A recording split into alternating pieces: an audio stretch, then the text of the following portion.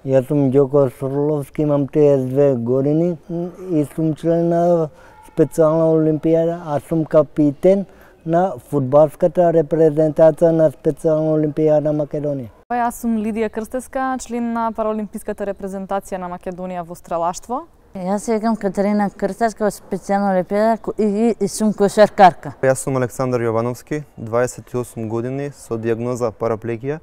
Се занимавам со спортско стрелаштво, воздушен пиштол на 10 метра.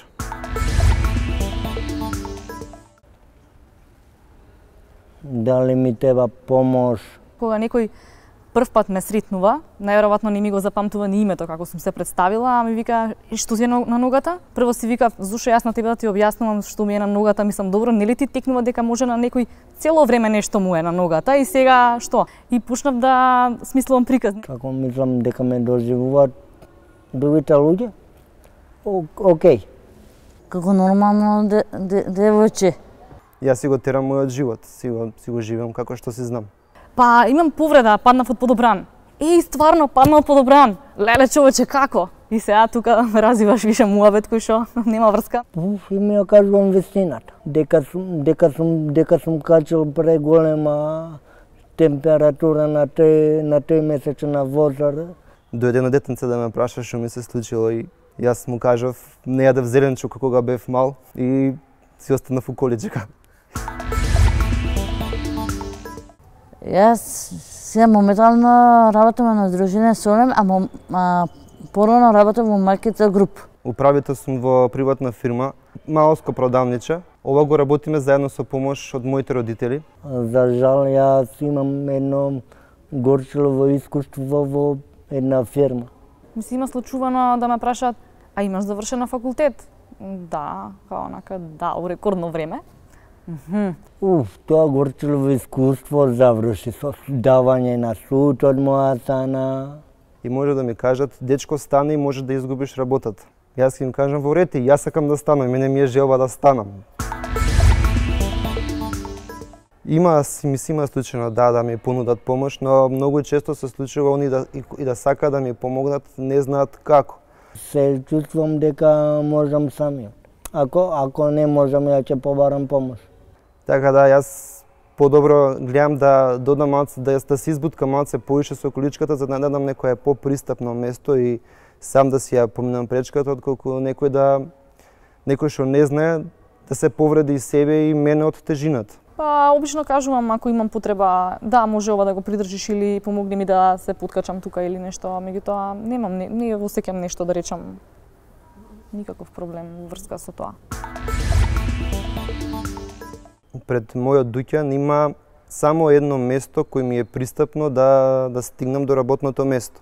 И многу често се случува баш на тоа место каде што јас треба да поминам, да има паркирано некоја кола. Ми пречисто сум учил специјално училиште, не е туку редовна школа. Ја можам и во редовна школа да учам. Ми пречи тоа некој што што ми збори зад грб. На, на почетокот реагирав и на секое блокирање на, на местото кога некој ќе паркира колата, реагирав. После тоа се изморив и престанав да го правам. Па нема нема сила да ти го кажат она што што сака да ти го кажат у лице и остана ќе ти дофрли некој Е, овој дете со посебни потреби, види го за жалење и... А, не се работи за никаква храброст посебна или не знам, јас сум многу силна или цврста, едноставно немаш избор. Чи ставен си до зид и или ќе се справиш, или што сега? Мислам, тоа е тоа, немаш некој избор, значи мораш да најдеш сила и храброст, бидејќи животот продолжува. Спортот ми помогна да ги поведам овие работи, и, и ми помогна во се нешто, да, да запознам пријатели, луѓе, кои што многу ги ценам и ги сакам, и да се дожам со нив. Се си го чистам умот кога сум на стрелиште, сум фокусиран на, на тренингот, на елементите што треба да ги изведувам и тука едноставно се, се чистам ги мериш едноставно повеќе во нашиот спорт конкретно менталните сили, значи ние сите знаеме да пукаме јако и ние сите сме добри на тренинг, меѓутоа таму малце менталната сила доаѓа до израз. Јас имам дечко се вика Виктор Младеновски што е специјално ВНП, се е на тренинг кошарка. Сабота дом ке него на гости, добро ми прифаќаат и неделя на тренинг шетаме у парк.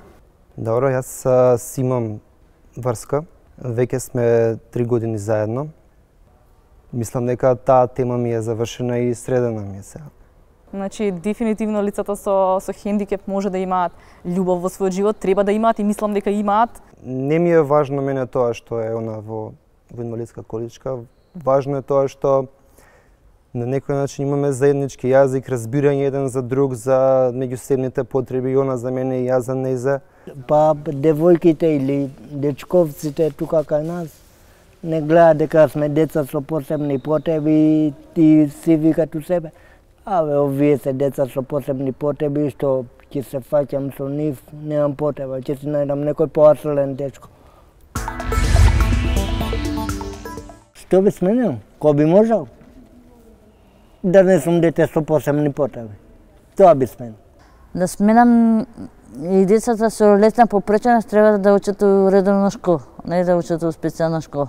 Па би ги сменил изгубените две години седејќи дома и ништо не правејќи. Да се перцепира човекот како човек, Како, како нормален. Како нормален. Што ќе ме сакат. Добро мене и сам ме сакат, мене јасно ми е тоа. И така.